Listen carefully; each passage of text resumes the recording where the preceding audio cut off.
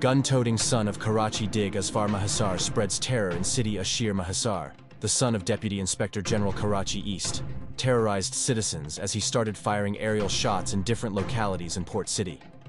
Several clips of the gun-wielding man went viral online, showing him firing shots in provincial capital, causing a law and order situation.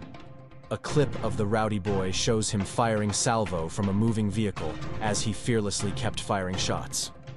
Karachi police said the clips are old, while investigations into the incident are underway.